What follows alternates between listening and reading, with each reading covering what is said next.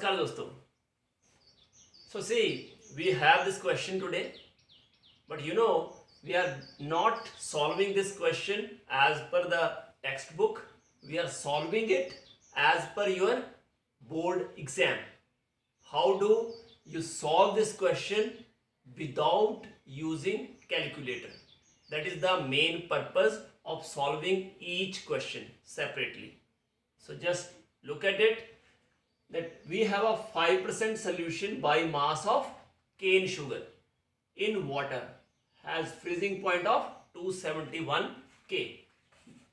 So from the statement it is clear that it is related to freezing point and we have to calculate freezing point of 5% glucose in water if freezing point of pure water is given to us. That means T naught F freezing point of pure solvent that is 273.15 Kelvin. And then 5% solution. By mass of cane sugar means is what it means? 5 gram of cane sugar.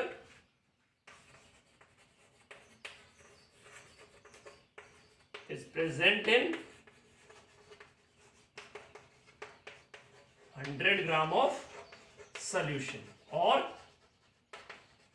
95 gram of water because solution is aqueous. So from here we get wb as 5 gram wa as 95 gram right? And when 5% solution of cane sugar is there freezing point is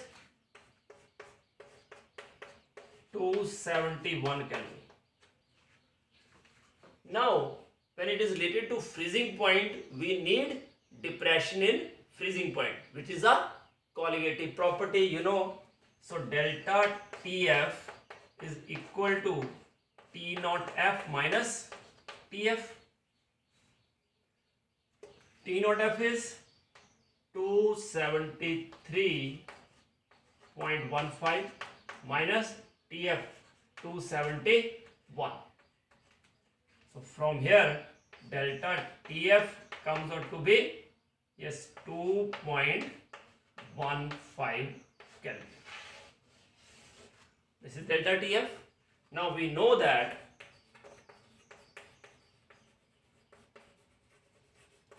delta TF is equal to KF into WB by MB into WA into 1000 because delta TF is KFM and M is WB into 1000 over MB into WA. WB, WA we have, delta TF we have, KF is not given and MB we can get it from the formula of cane sugar. So you know cane sugar is sucrose C12H22O11. So that is 12 into 12 22 into 1 plus 11 into 16. So it comes out to be 342 gram per mole. So just put the values. This delta TF is for cane sugar. So delta TF of cane sugar is equal to kf into 5 into 1000 divided by 342 into WA. What is WA? 95. And this delta TF, the value of this is 2.15. So this is the equation number 1 from the statement. Okay. Now come to next. Calculate the freezing point of 5% glucose in water. Just note down. Then we will go further. Okay. Just note down it.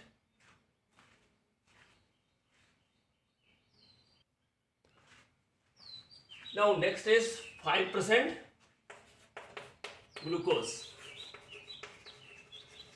in water means again five gram of glucose in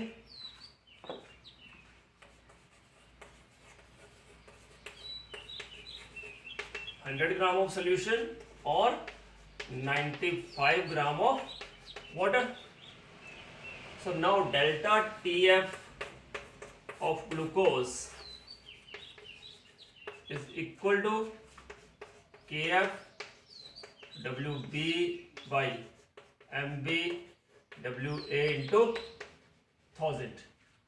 WB and WA same 5 and 95. Kf it is for water. Then MB. What is MB? MB of glucose C6H12O6 means 12 into 6 plus 12 into 1 plus 6 into 16 it comes out to be 180 gram per mole. So just put the values.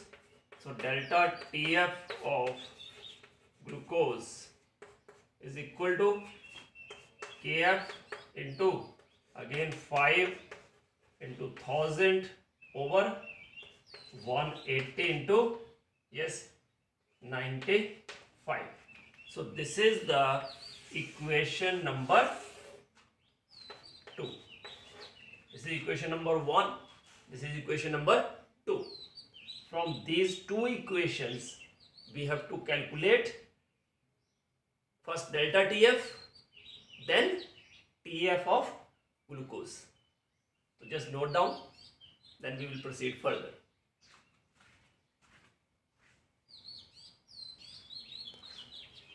So these two equations we have derived from the statement.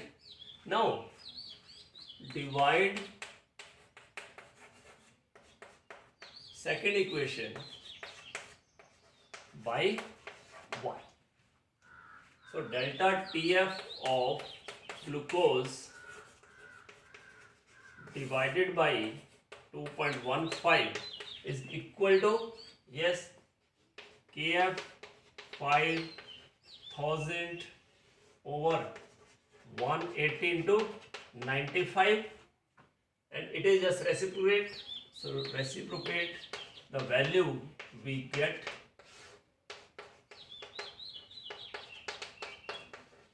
This thing kf kf cancel no need. 5 5 cancel 1000 1000 cancel 95 95 cancel. So what would we get?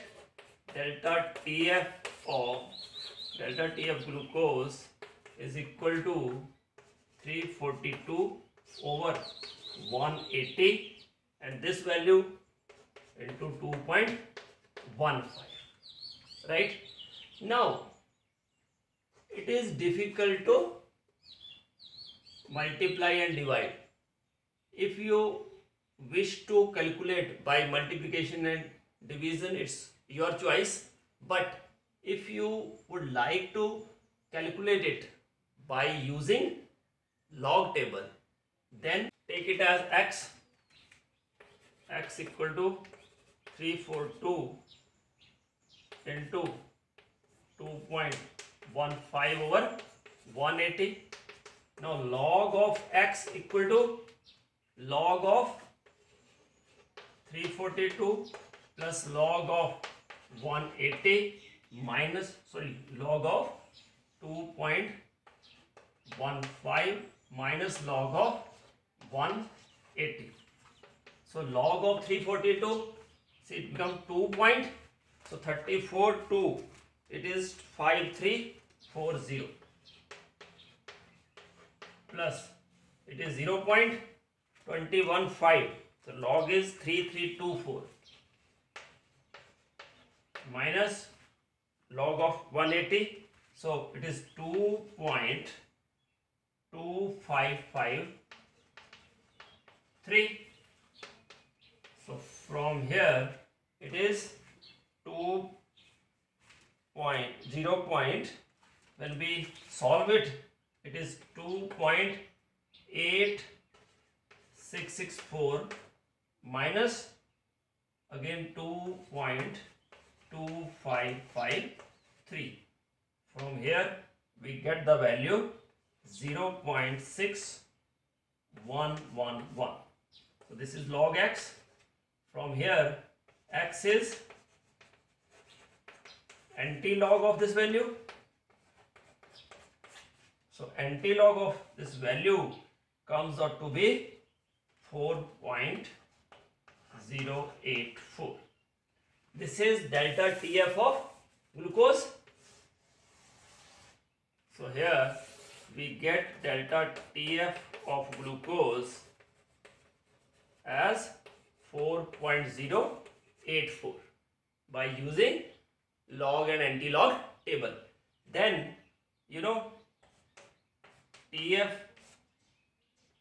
T naught F minus TF of glucose is equal to 4.084.